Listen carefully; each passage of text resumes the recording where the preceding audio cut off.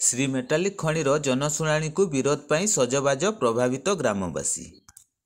ବଡ଼ବିଲ ତହସିଲ ଅନ୍ତର୍ଗତ ଖଡ଼ବନ୍ଦ ଗ୍ରାମ ନିକଟରେ ଥିବା ସିମେଟାଲିକ୍ ଖଣିର ସମ୍ପ୍ରସାରଣ ଓ ଉତ୍ପାଦନ ବୃଦ୍ଧି ନିମନ୍ତେ ଆସନ୍ତା ଛଅ ତାରିଖରେ ହେବାକୁ ଥିବା ଜନଶୁଣାଣିକୁ ଗ୍ରାମବାସୀ ବିରୋଧ କରିବାକୁ ସଜବାଜ ହେଉଥିବା ଜଣାପଡ଼ିଛି।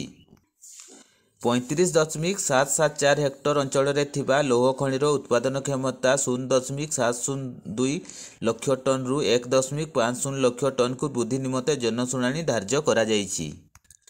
ତେବେ ଖଣି ସମ୍ପ୍ରସାରଣ ଦ୍ୱାରା ନିକଟସ୍ଥ ବନ୍ୟଜନ୍ତୁ ପ୍ରଭାବିତ ହେବା ସହିତ ସୁନା ନଦୀ ମଧ୍ୟ ପ୍ରଭାବିତ ହେବାର ଆଶଙ୍କା ସୃଷ୍ଟି ହୋଇଛି। ଏଥିସହିତ ନିଯୁକ୍ତି କ୍ଷେତ୍ରରେ କମ୍ପାନୀ ପ୍ରଭାବିତ ଗ୍ରାମବାସୀଙ୍କୁ ଉପେକ୍ଷା କରିଆସୁଥିବା ଅଭିଯୋଗ ହେଉଛି। ତେବେ କମ୍ପାନୀ ଦ୍ୱାରା ସେପରି ଉନ୍ନୟନମୂଳକ କାର୍ଯ୍ୟ ମଧ୍ୟ କରାଯାଇ କରାଯାଇ ନଥିବାରୁ ଆସନ୍ତା ଛଅ ତାରିଖରେ ହେବାକୁ ଥିବା ଜନଶୁଣାଣିକୁ ଗ୍ରାମବାସୀ ବିରୋଧ କରିବେ ବୋଲି ଚେତାବନୀ ଦେଇଛନ୍ତି। ବଡ଼ବିଲରୁ ଅଶୋକ ମହାନ୍ତଙ୍କ ରିପୋର୍ଟ କେଉଁଝର ଟାଇମ୍ସ।